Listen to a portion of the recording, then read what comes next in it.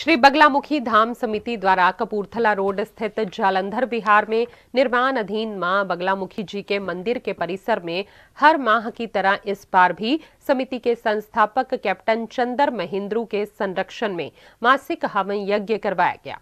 इस हवन यज्ञ के दौरान सैकड़ों श्रद्धालुओं ने हवन कुंड में आहुतियाँ डाली।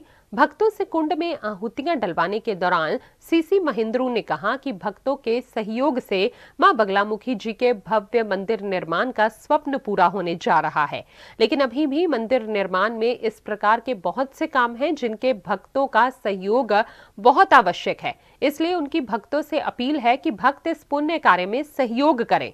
हवन यज्ञ के बाद भक्तों के लिए भंडारे की भी व्यवस्था की गई थी।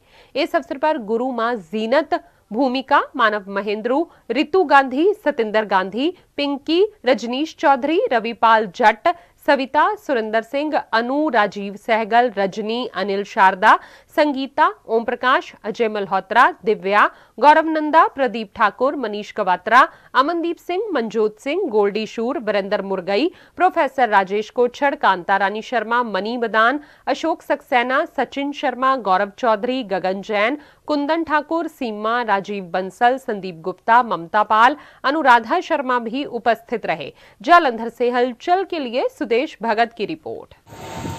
बगलामुखी धाम समिति डिस्ट्रिक्ट जालंधर की तरफ़ से हर माह अपने निर्माणाधीन मंदिर में मासिक हवन का आयोजन किया जाता है, जिसका प्रबंध माता श्री बगलामुखी समिति के सदस्य आपस में मिलकर करते हैं।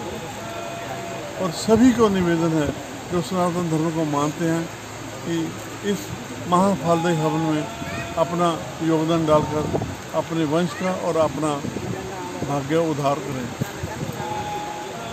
आगामी 20 नवंबर को बगलामुखी चिंतपूर्णी ज्वाला जी कांगड़ा जी चामुंडा देवी मासिक यात्रा का प्रबंध किया गया है जो इस वर्ष नौवीं वार्षिक यात्रा के ली जाएगी।